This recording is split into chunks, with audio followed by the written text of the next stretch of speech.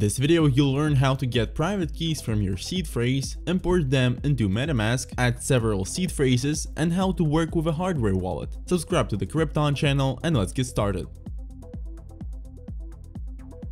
Today we'll analyze quite specific topics, but you can learn about all the basic functions of the MetaMask wallet that are necessary for everyday use by watching the first part of the MetaMask series. You can find the link to the video in the description. After creating a new wallet or importing an already existing one into MetaMask, you can create new accounts or import them using either a private key or a JSON file. By importing already existing accounts with different seed phrases, you can manage them using one MetaMask wallet. To export the private key which is already added to MetaMask, go to the account information section on your PC or request a demonstration of your private key in the corresponding security tab in the mobile app. To obtain a private key from the seed phrase, we'll use the mnemonic converter. The link will be in the description. In order to ensure security and reduce risk of getting your seed phrase and private key stolen, we'll use the offline version of the mnemonic converter and perform all actions on a computer not connected to the internet with a fresh OS. You can get access to the autonomous version of the converter by simply downloading the HTML file from the GitHub repository, the link to which you'll find in the description. After that, open the HTML file in any browser.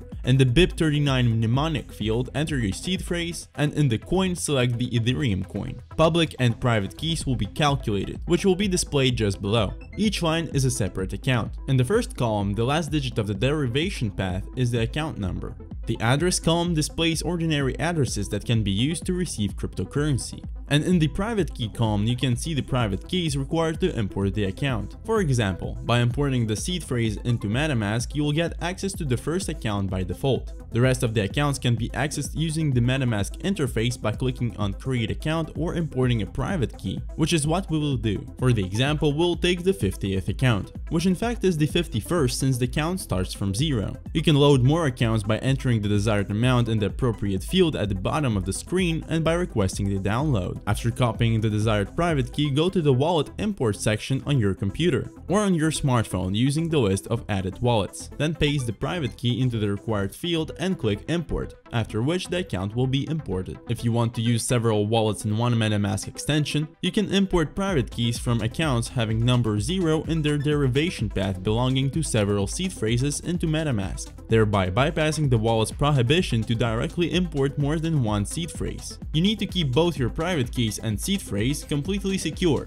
Their loss or compromise by someone means losing all your assets. In addition to creating a new wallet or importing existing accounts and seed phrases, MetaMask has the function of connecting a hardware wallet. Currently, only Trezor and Ledger hardware wallets are available for integration. A hardware wallet in most cases is a separate device that stores private keys used to sign transactions created on third-party devices in an isolated and secure environment that is not connected to the internet. The hardware wallet is one of the most secure methods of interacting with cryptocurrency. As an example, we will show you the integration integration of the MetaMask wallet with the Trezor hardware wallet. To do this, you need to connect the wallet to your computer. Select Trezor as a wallet to connect in the MetaMask interface and export public keys to view the balance, confirming this action on the hardware wallet.